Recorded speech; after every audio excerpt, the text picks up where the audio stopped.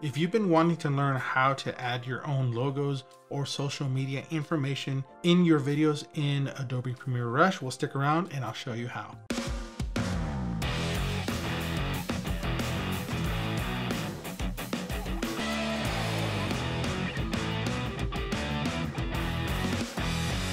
Hey everybody, what's going on? Claudio here and welcome to my channel where I share tips and tools to help you tell your story. As I mentioned at the start, I'm going to share with you some tips on how to add your own logos and social media information as lower thirds or even just keep them on throughout your whole video.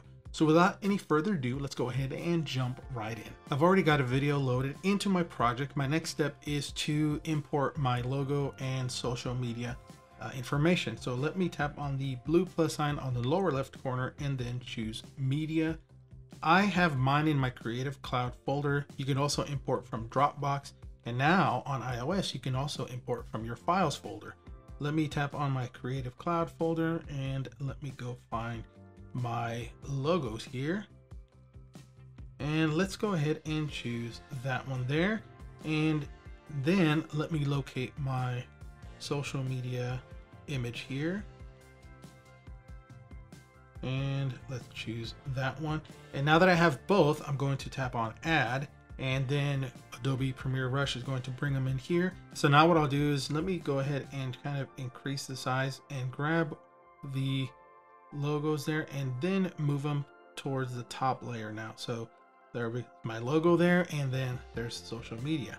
Now I'm going to actually add that to the next top layer and for now, let's go ahead and resize the social media one. So let's tap on transform and then choose scale. And I'm going to bring that down and then maybe slide it over to the left. Maybe bring it down to like the corner there.